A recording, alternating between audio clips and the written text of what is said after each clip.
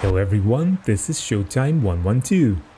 In the history of military aviation, it's not too uncommon for a pilot to fly for two different air forces in his career. But there is one exceptional case of a fighter pilot who flew for four different air forces. To make matters even more special, he was credited with scoring aerial victories in three of them. Saiful Azam was born in 1941 in East Bengal, which was then a part of British India.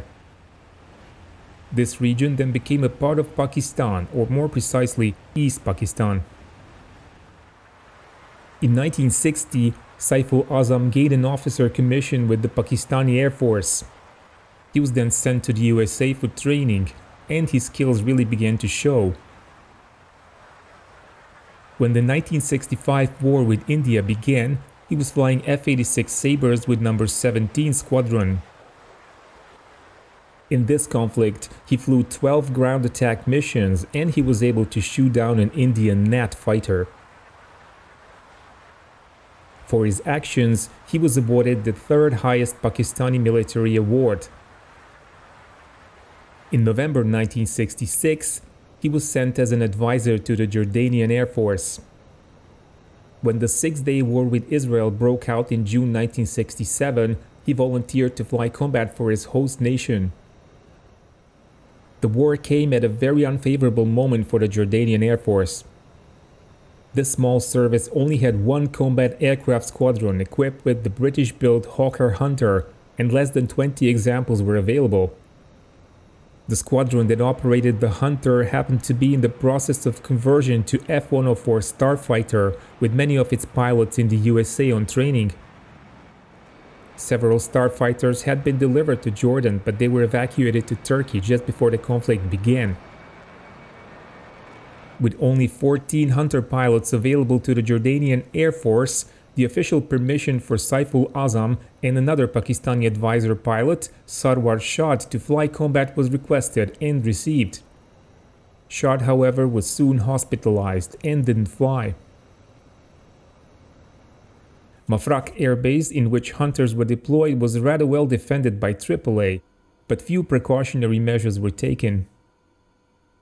When Israeli attacks began on the early morning of June the 5th, they caused confusion in Arab militaries, and Jordanian Air Force was no exception. The first Jordanian airstrike against Israel was only launched just before noon Amman time. Saiful Azam was initially scheduled to fly in it, but he was switched to air defense at the last moment. Azam and his wingman, Iksan Shurdom, took a position high over the city of Ajloun. Shurdom remembers that he took off with 24 rockets and had to shoot them off to get his plane lighter and ready for combat. Ground radar controller could not provide the two Hunter pilots with accurate vectors, as there were too many airplanes in the air, but he then reported aircraft approaching Mafraq airbase.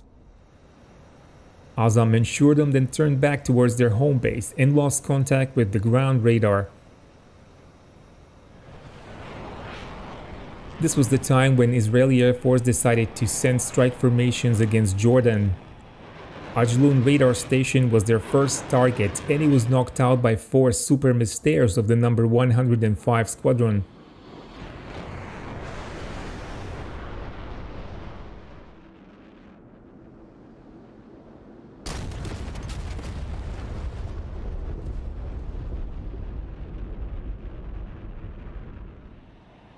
Large number of other Super Mystères, older Mystères, and Ouragans were tasked with hitting Mafraq Air Base and Amman International Airport.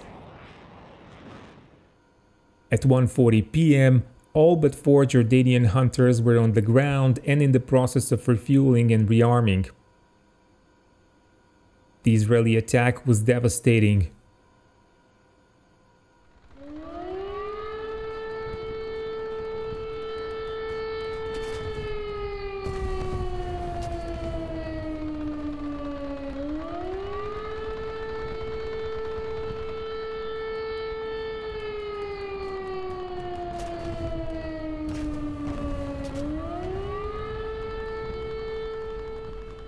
As Azam and Shurdom were returning to Mafraq, they spotted four aircraft which they initially believed to be Iraqi hunters returning from a strike against Israel. When they began to change to combat formation, Azam realized they were in fact Israeli Mystères. Azam managed to maneuver behind the number 4 in the formation.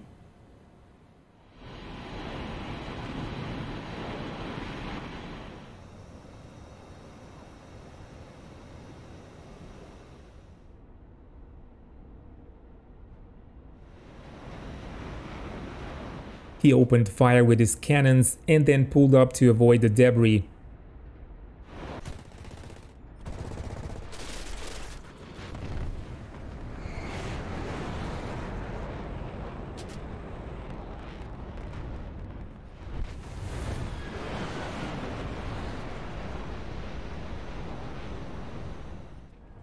Israeli pilot Lieutenant Hanaya Bouleh never managed to eject as his airplane crashed near Mafraq Air Base.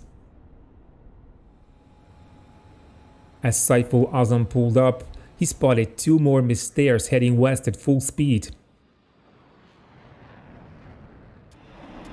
His wingman spotted one to his right, so Azam ordered him to attack it while he followed the pair.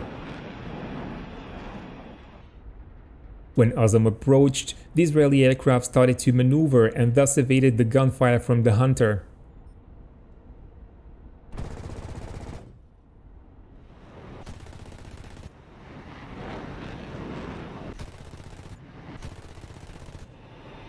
The mist Mystère then straightened, and this was enough for Azam to hit it.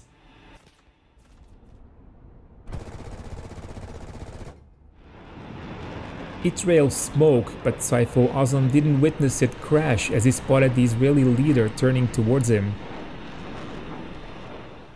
Being low on fuel and ammo, he disengaged and headed towards Mafraq.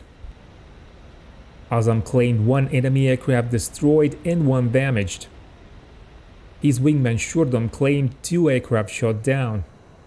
Israeli side claimed two kills against hunters. While there is obviously some overclaiming here, at least one kill for Saiful Azam seems quite certain. As Mafraq airbase was rendered inoperative by the Israeli attacks, Saiful Azam and other Jordanian hunter pilots landed at Amman International Airport.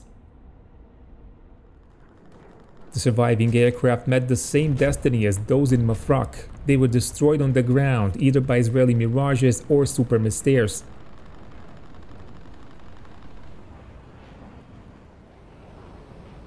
As Jordanian Air Force had no aircraft to fight, the surviving pilots were sent to Iraq, which also operated Hawker Hunters.